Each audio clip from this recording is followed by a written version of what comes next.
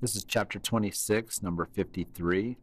And this is all about a copy machine. And it says a copier uses a lens to place an image of a document onto a rotating drum.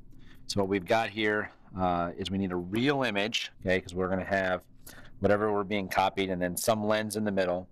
And the light's going to go through the lens and then hit the drum. And on that drum, we need light to converge so we can actually get an image and then, you know, make our copies. Uh, and then if you want to get into the uh, how it does the stuff with the ink, that's electrostatics. That's back in, I believe, chapter 18. So lots of stuff about copiers. Uh, part A, what kind of lens should be used if we want to make this happen? We already mentioned we need a real image.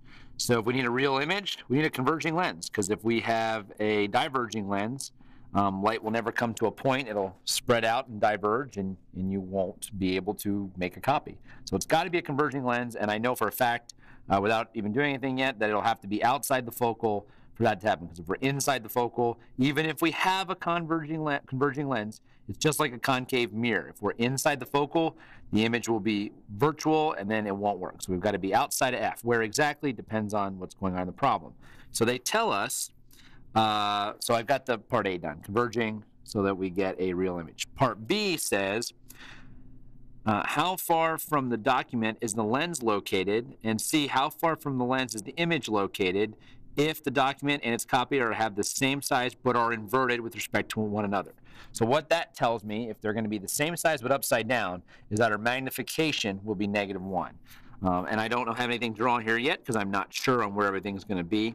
But there's my F's and my two F's on both sides. Where the real focal, this is the lens, and the object's over here. Somewhere the real focal's over here. This is just for reference purposes. Uh, and then our two F's as well. So we need M to be equal to negative 1. And if I look at my equation, M equals negative DI, or DO, DI over DO. So talking about the size of these, they have to be the same. DI has to equal DO. If we're going to get 1 here, DI and DO have to have the same value. Now, what about the negative stuff? Well, uh, I have a, I know I'm going to have a real image, so when I plug in DI, it'll be a positive number. When I plug in DO, it's always a positive number, and then we have the negative out front, so it works. So I don't, I don't know that I really need the absolute value here uh, because these are both going to be positive values anyway. For this setup, they're both going to be positive values, and I've got my M equals negative 1. So DI equals DO. That makes our equation pretty simple once we realize that realizing that is the uh, figuring that out is the tricky part. So I'm just going to replace one of these with the other. So I'll just make this di because they're interchangeable. So I'll have 1 over f equals 2 over di or yeah, that's right. Or di equals 2f.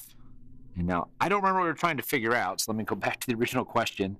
Uh, how far from the document is the lens located, and how far from the lens is the image located. So this tells us the image location, location, and this might be a little redundant. Uh-oh. All right, this will be entertaining. I'm out of ink. I'm to go find a pen. Welcome to room 330. Uh, let's see here. Should be one over here somewhere.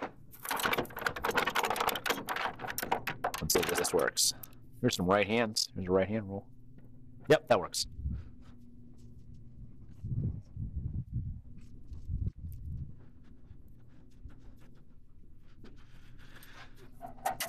All right, back to the problem here. So we figured out that the, the DI is at 2F, so I know I'm going to get something upside down here at 2F. Now the question is, where's the object? Well, I could actually ray trace now and see the symmetry. I know what's going to happen. But let's resolve just in case you're not seeing what's going to happen here. So 1 over di again, plus 1 over do. And these are interchangeable because the magnification is negative 1. So this time, instead of getting rid of do, I'll get rid of di. So I just make this a do, just straight substitution because di equals do.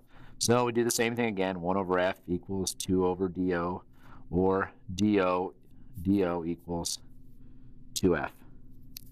So the object is over here. And that should be backed up by our ray tracing. It should be about the same height, so in parallel, out through the focal. Hey, look at that. And then straight through the center. I did a pretty good job. When it works out nice and neat like this, freehand, it just means I did a pretty good job eyeballing where F and 2F should be. But this all seems consistent. It's backed up by my, by my algebra here. So both of them are at 2F. Now, obviously, it's a lens, So one of them is on one side of the lens, the object, and then the image is on the other side, and it's flipped upside down. That's where that, uh, if we talked about the image height, that would be negative. Uh, the DI would be positive because it's a real image. Was there anything else? I think that was B and C. And it said express your answer in terms of the focal length, so I'm good because I'm allowed to have F in my answer. That's it.